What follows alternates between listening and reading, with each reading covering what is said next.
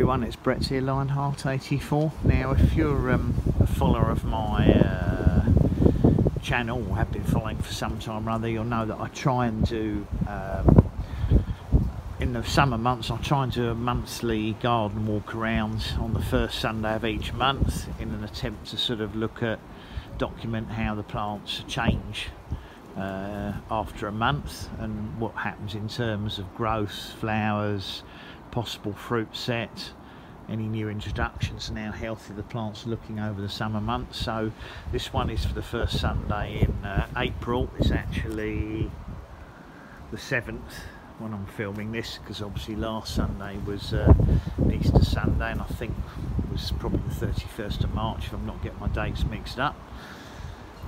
so we're going to do a walk around and see what's starting to happen. Obviously it's a little bit early in the year. The May and June ones tend to be a lot more interesting but there is plenty of stuff going on. So um, we'll uh, I thought we'd start with my uh, Pakistan mulberry or Shahtoot mulberry. This is a um, this is the dark red fruited one not the white one. I had a couple of white ones which died. They were eaten by snails and I think they suffered root rot as well. I haven't bothered to get a replacement because I'm quite happy just to have the one because I've got a few other mulberry varieties and one of the problems with these is they wake up very very early and they're extremely frost tender so um, we're now obviously at the end of the first week of April and I'm keeping my fingers crossed that we actually get a mild April this year because uh, if we get frosts in April it will completely destroy all these embryo fruits that are coming here and the new, new shoots. The plant will recover and will send out new growth again but all of these would be lost. Now so far as I said it's looking like the next two weeks is going to be mild and as we get towards the end of April there's less likelihood of uh, of frosts which and of course these do toughen up these shoots with time. Maybe not the flower buds but as these shoots get bigger and it has woken up particularly early this year because we did have a really mild March as these shoots toughen up um, they may become more resistant to frost. So so far so good.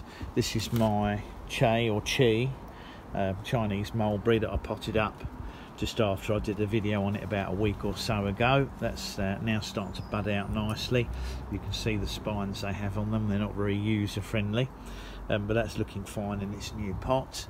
On the wall behind it is my um, kiwi berry. This one is was originally bought as Issai turned out not to be Issai. Now this is another plant that's extremely frost sensitive. And if we were to get a frost now all of these flower buds and new growths would be would turn black and be completely destroyed but it's going to be absolutely covered in flower buds this year. And I'm hoping that one of my others will flower and I might get cross pollination because this plant does not set fruit on its own. I said it was meant to be an Issai when I bought it from Burncoose Nurseries and it I found out obviously after three or four years and that's the problem with these un, these incorrectly labelled plants here. After three or four years by which time it had covered the fence I found out it wasn't Issai and therefore wasn't um, capable of uh, setting fruits without pollination. So very frustrating but it's what happens. Here is my um, my Crimson Sunrise or Crimson Bonfire, sorry, peach. Now, as you can see, unfortunately, I only sprayed it once or twice and I didn't cover it. This has now got the uh, peach leaf curl appearing on it. Now, the only thing about peach leaf curl is um, as the weather temperatures get warmer and the weather gets drier, um, the first batch of leaves tend to drop off and you end up with the plant then uh, growing clear leaves if it doesn't get damaged. Now it's set quite a lot of fruits on it, um, however the damage caused by the peach leaf curl invariably causes the fruits to drop anyway. So um, I'm hoping that it's not going to be too severely damaged by the peach leaf curl this year, but we'll see what happens. One of my potted uh, Feijoas, this is the most recent one I got. This one is actually Triumph. Um, I've got a spare one for whatever reason. I think I was buying one for my parents and thought I'd get two. Uh, interestingly, just starting to show signs of new growth here, so it's waking up quite early. behind it in a pot is my uh, Albizia julibrissin. Be nice if it got some flowers on it this year. Don't know if it will or not. Seems to get attacked by snails and slugs, but at the moment the new shoots are looking okay. Uh, now this is my medlar. Um, this is a patio one. I think it's Blaze Patio Medlar, so it's meant to stay more dwarf. It's now, it produced lots of fruits for me last year, and as you can probably see here, it's uh, now got plenty of flower buds coming out on it. I don't think these shoots and flower buds are frost tender, so I don't envisage uh, any problems even if we get a frost with them uh, with them being damaged and losing the flower so that looks like it's going to produce plenty of fruits for me again this year. And I did make a nice medlar jelly with it. Um, there's another view of my kiwi berry on the fence. You can see why it can't be moved. It's a bit of a problem with the uh, size. Incidentally apologies if we get some sound issues today because we've been having gale force winds here. So um, it might impact on the uh, sound in certain parts of the video when the uh, wind suddenly blows.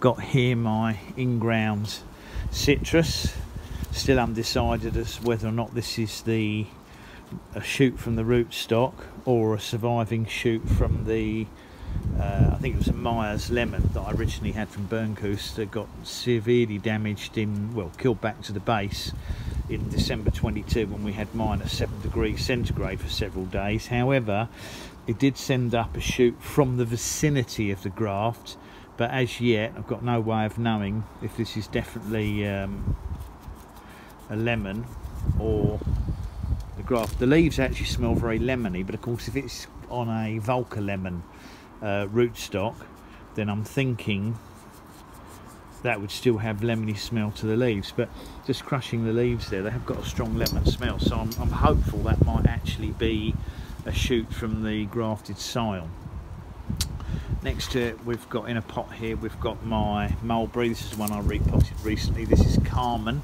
This is a white fruited mulberry. It's got plenty of uh, buds coming on it now though they probably won't appreciate these high winds. Um, moving along got the first of my in-ground pineapple guavas. This one is mammoth. Doesn't really just just the buds are starting to swell at the tips now which are just starting to show the new growth. And obviously if we get a very mild April and May that will push them on a little bit earlier. And it would be nice if we got flower buds a little bit earlier than we have previously. Um, in grounds we have uh, two of my three mulberries. Uh, the one at the front is Darrow. The one at the behind I can't remember. But they're this is now in full flower and got lots of new growth on it. The one behind it is ever so slightly later. Uh, my passion fruit in the ground that completely died back a year or two back did send out a sucker. Don't know if that's going to survive but I'm not too worried. It really needs to go um, I just haven't had time to cut it out and remove it from the fence but obviously I could grow something else there perhaps a um, perhaps I could put a male flowered kiwi in to guarantee getting pollination on that so I might think about getting a male flowered kiwi for that space. Uh, here is another in-ground uh, pineapple guava, this one's a seedling one, I keep talking about moving it and I still haven't got round to it. I tried it again last year and the fruits were still dreadful on it so really it is a wasted space. I feel I could either put another pineapple guava in there or possibly um, something like uh, a Chilean guava because I don't want them to grow too big at the front. Behind it is my seedling persimmon.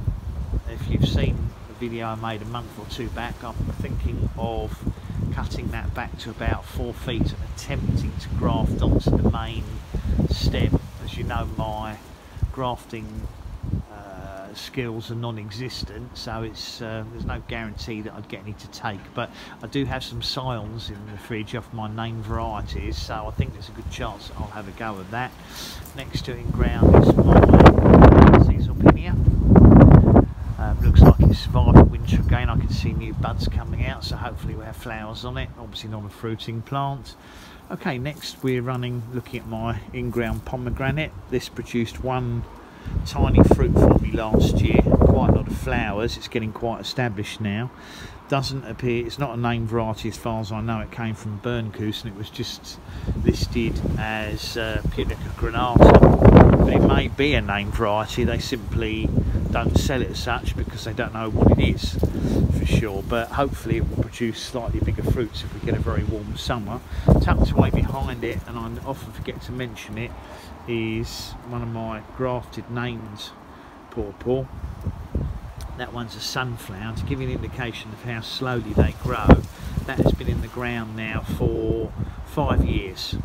And it's literally grown about maybe maybe a foot so 30 centimeters in five years. So it's painfully slow and it's probably because it's in competition with the pomegranate and the Caesalpinia roots. So that's probably part of the problem but at least it's sheltered there and doesn't get burnt. But I can see it's got no flower buds on it at all this year so we're going to have no flowers on it again. Next to it in ground is my Campsis which is purely for uh, decorative purposes.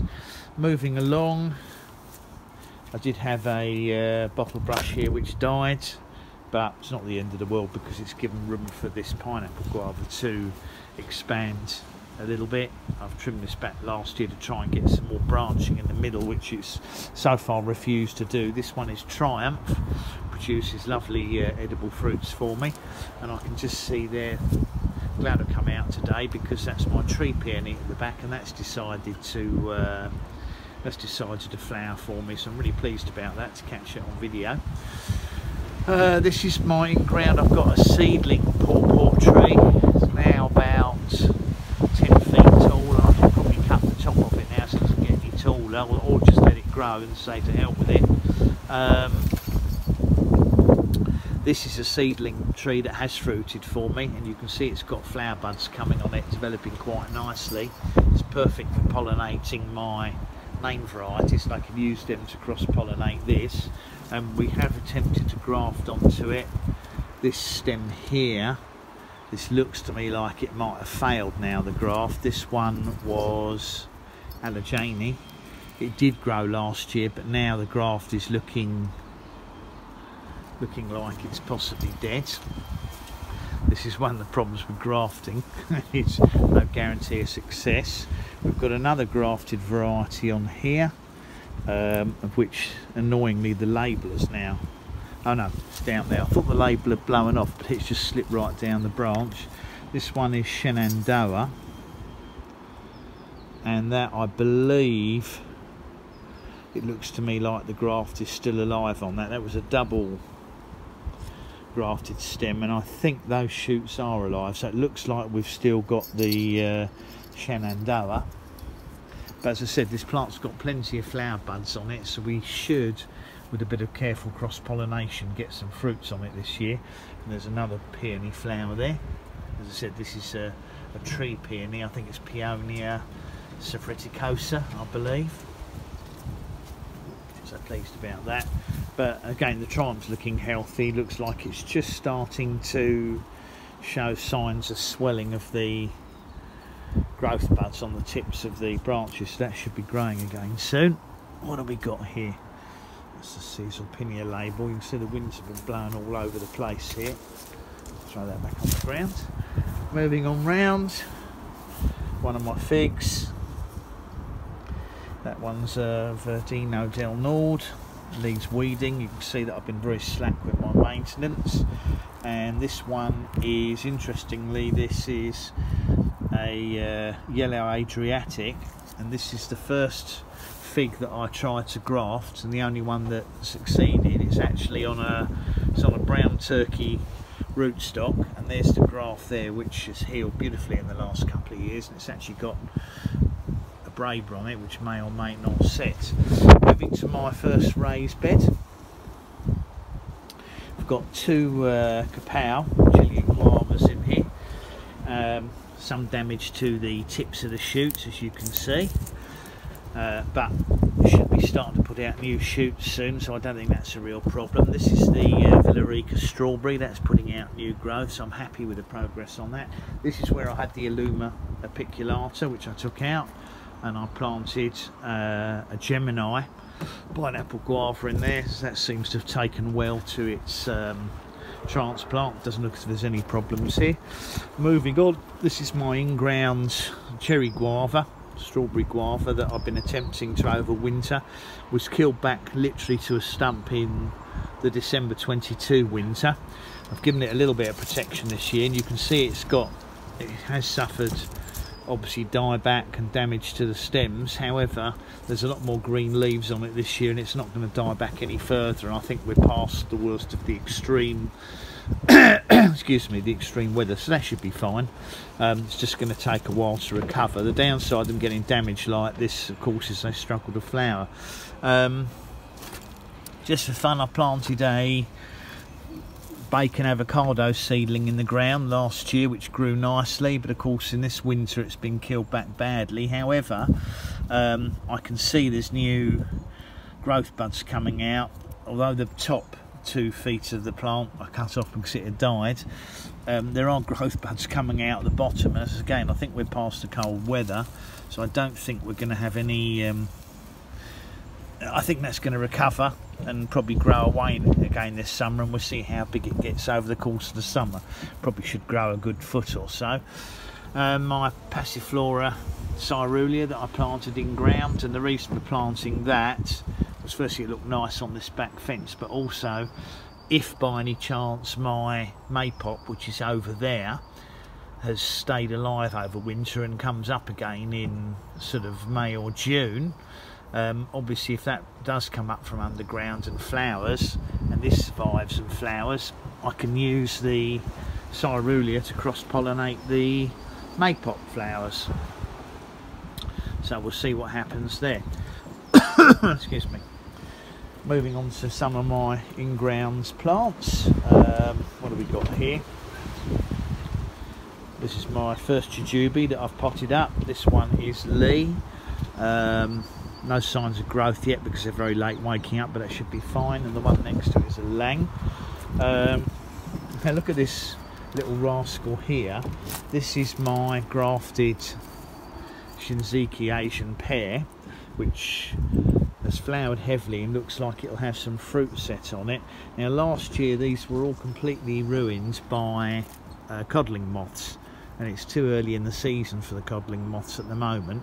So what I'm thinking of doing is once these are swollen a little bit so I know which ones have set and are growing well I'm going to thin these down to one fruit per per bunch because there's no good having four or five fruits on here. That's not going to work and the weaker ones will fall off.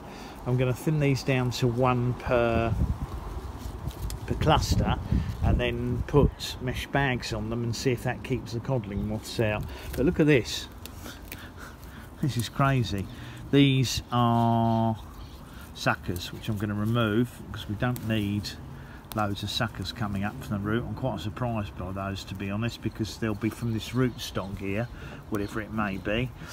Um, behind that I've got my, this one is my Nijisseiki also has set uh, well had plenty of flowers on it and then we may get fruit set. It's quite a young tree and I've cut it back to try and get it to branch out more so I don't know if that's going to be successful.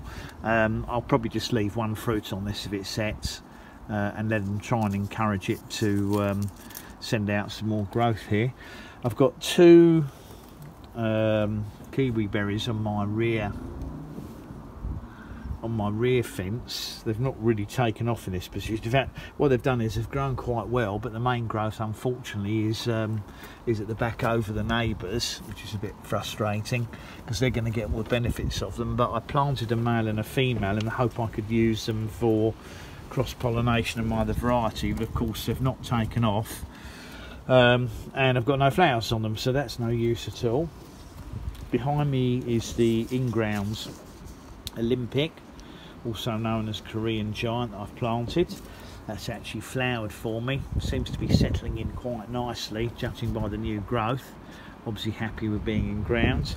Again, if it sets any fruit, I might let one stay. So let's move around further. That's interesting. I thought it looked like my uh, I thought it looked like my plants had uh, taken a bad hit. That has most likely been done by a fox. That is a that is a main branch off of one of my um, Chilean guava Kapow plants, and uh, it's obviously been ripped off by an animal and thrown over there, which is very frustrating. Oh, the joys of gardening. Just carrying on quickly. This is my Hong Lee one that I cut back last year because it seemed to have some kind of dieback on it. It's looking healthy now, obviously didn't flower, but as these shoots develop this year, if it survives next year, it should flower heavily. And my final um, Asian pear, and this one is this is the Kumoi. Now, as you know, I've um, I've re-put repotted them all into these large fabric pots, and at the moment they seem to be doing well, so I'm pleased about that. Okay, moving on, we've got the uh, Szechuan pepper starting to bud out now. These have brutal spines on them. It's got lots of uh, new growth on it. Did even flower last year and produce half a dozen peppers. I'm expecting a lot more this year. Um, one of my surviving grafted uh, pawpaws. This one is Pennsylvania Golden. Has got plenty of flower buds on it. It's never fruited for me, it flowered last year, so I'm going to have another go at cross hand pollinating this year and we'll see what happens. Um, and next to it is my largest in ground, uh, sorry, pot grown one, and that's my Prima. Again, it's got flower buds on it, and it has fruited for me now for the last three years. Again, I'm hopeful that um, I'll be able to hand pollinate it and we'll get a few prima fruits. Obviously growing them in pots is not the ideal thing to do for pawpaw, they're not really suited for pot growing but despite that it's been doing quite well so I'm quite happy to see it and I think I've actually got a scion from this plant in the fridge so I might try grafting that onto my seedling tree and see how it goes. This one here is a mulberry, this one is I think Let's look at it. That's agate, produces lovely big juicy fruits, but it's been a slow grower for me. Now I'm not going to go through all the, obviously I'm not going to go through all my persimmons, uh, just show a close up of a couple of them. They're now coming out into growth and it's this new growth that will have the flower buds on it. Uh, again, this new growth is incredibly frost tender, so if we were to get a late frost, there is a, a high risk of um, losing all of this growth, although they will normally regrow from that damage. And in fact, every persimmon I've got is breaking out into bud quite nicely now, so they're definitely early this year. So it's just a case of keeping our fingers crossed that we don't get any late frosts. Same for the figs, really. Uh, again, I'm not going to go through all the varieties of figs, but um, the figs are shooting out quite nice and early this year there are signs of some brebas, although these aren't particularly noted for being breba varieties, but maybe I might get, um, I mean, I've got a couple of brown turkeys in pots as well, so they may produce breba fruits for me. But um, again, you can see the signs of breba fruits on plants like this one here. This one actually is, that is my brown turkey. This one next to it looks like it might have a couple of Brebas. I think that's um, probably Verdone. No, it's Goutte d'Or. Not easy to recognise these just from looking at them. So this one here is Madeleine des deux Saisons. So that can definitely produce Breba crops. So I'll keep those well fed and watered. Um, as I said, the uh, persimmons are looking pretty good. There is signs of dieback on some of the trees, so obviously once the buds have come out, I'll be aware of where the dieback issues are and I can tackle those at the time. Um, my pineapple guavas, these ones I'm not going to repot. Uh, they are all named varieties. I think I've got that first one is Coolidge, which means the one behind it is probably Apollo produced a handful of fruits last year for me. Um, hopefully I'll get a few more this year. More figs at the front, various sorts. Uh, first of my grafted loquats or loquats. Once again, no flowers on them, but um, at least the plant's looking nice and healthy. Moving along, this uh, this pineapple guava is Marion.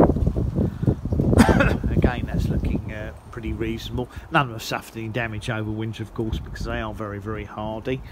Um, this is simply the remains of a grafted persimmon that died, so this is just a root stock. I might graft onto that.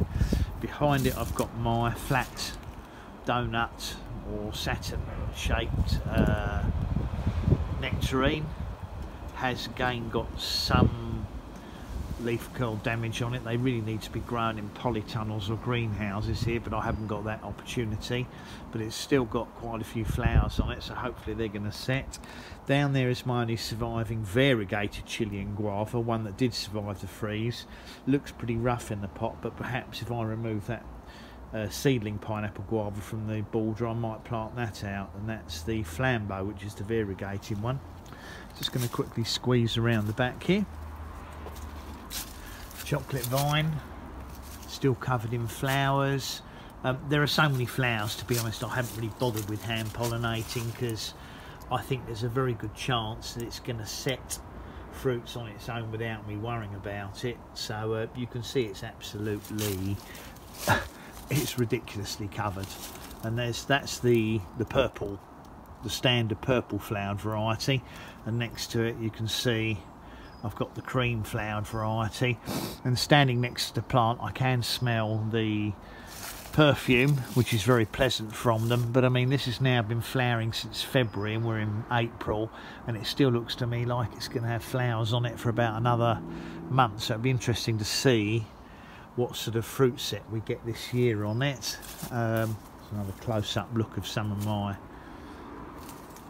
persimmons I mean, if these all don't get too much dieback on them, we should see some uh, decent uh, fruit on them again this year. The Chocolatino looks like it's got dieback on it, so I'm going to have the pruning uh, secateurs out soon.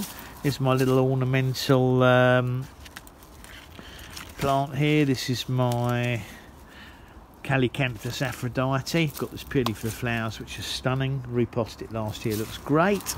The two pineapple guavas that I repotted recently. This one's unique, and this one next to it is Nikita. They um, they'll they should really take off this summer with the repotting done on them. The second of my grafted loquats or loquats. This one is this one is the Mrs. Cookson, which means the other one is Oliver, and they're both grafted on quince rootstocks out of interest. My in-ground kiwi berries, and these ones are definitely Issai, so these are capable of setting fruits um, on their own. They set uh, parthenocarpically without fertilisation, so they don't have seeds in the fruits, and the fruits tend to be not as big as if they're pollinated, but nevertheless they do produce edible sized fruits. It's covered in flower buds on it this year. Now last year the plants were decimated by snails uh, and I didn't spot it till too late and they literally ate every flower bud on the plant so I didn't get a single fruit but it only had a few flower buds on it this year's covered so I'm hoping that the snails won't get to them this year but I will keep an eye out. Here's my black mulberry that I repotted recently in a video. Morus uh, the only Morus Nigra I've got and the variety is Repsime I can see the bud starting to swell now so that should be breaking out soon. Uh, my apricot early Moorpark next to it covered in flowers doesn't seem to have set a single fruit. As far as I can see every embryo fruit has dropped off which is frustrating. Possibly because I repotted it and the disturbance may have upset the root system. But as I said it flowered very very heavily but I can't see a single fruit on it. So that's um, we're not going to get to taste an apricot this year but at least the plant's looking nice and healthy and growing away well um, another pineapple guava here. This one is this one's another Triumph. Not going to repot that this year. I think it'll be okay in that pot. I've still got my three honey berries here, which I was um, hoping to sell. Uh, I only bought 15 pounds for them in these large pots. Uh, one of them even had a flower on it actually recently. But I got them on Facebook Marketplace, and I thought they'd probably sell quite easy to someone local because bear in mind what you have to pay for a tiny little plant. But surprisingly, um, no one's taken me up on the uh, offer.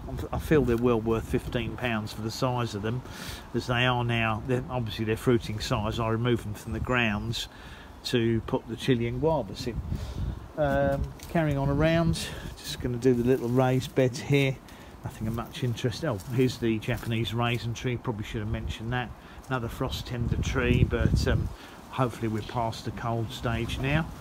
Got my in-ground fig tree, unknown, unknown variety, originally bought as Rouge de Bordeaux, but isn't.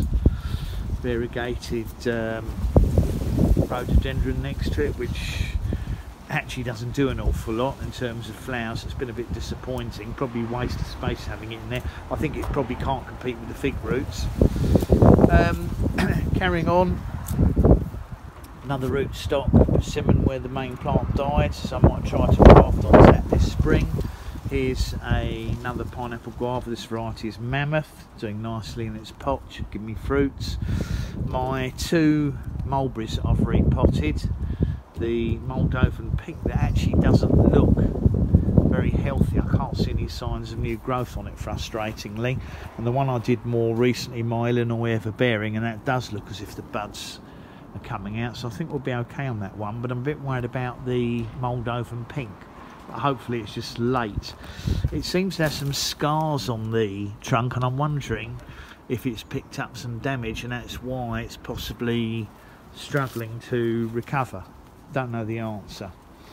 And then finally, I don't call it's not my graveyard as such, but I've been having a move around. This is a Cornus Kousa, which I might try and find a space to plant in ground at my parents so it does itself justice that's the this was a Mollar de Elche pomegranate and the whole tree completely died however I don't think it's grafted so these branches at the bottom where it's turned into a bush should be Mollar de Elche and finally my transplanted Luma apiculata that I wanted to remove from ground to make room for a smaller plant um, seems to have survived the transplant without any problems Looks like it might need watering. It's a bit on the dry side possibly. Still feels damp, but I'm just looking at these branches withering a bit, but that might drooping a bit, but that could be due to the winds. But that's looking fine in actual fact. So if you look closely at these main stems here, there's loads of shoots coming out. So I suspect that most of these upper branches here will bush out nicely and this will recover really well. Probably be okay in that pot for two or three years. Whether or not I get to move it somewhere else remains to be seen. So that was, um, sorry about the mess around here. It is a bit of a messy garden in places. Goji berry, hugely overrated as far as I'm concerned. So that's a quick uh, tour of the garden. Wasn't it quick? It was a very lengthy tour of the garden. Because I wanted to feature some of the plants particularly. Um, as I said, we'll uh, we'll see what happens. There'll probably be a big change by the beginning of May, but I'm very, very pleased with how uh, things are looking at the moment. Not going to cover the summer house, that's for another day. Ooh. Jump there, thought there was a bee on my finger. Thanks for watching the video. Hope it's uh, some bits a bit of interest to you. Please remember to uh, share the video, give me a like um, welcome to subscribe to my channel of course and please click on the bell if you like updates on new videos as they come out I'll catch up with you all soon Brett out for now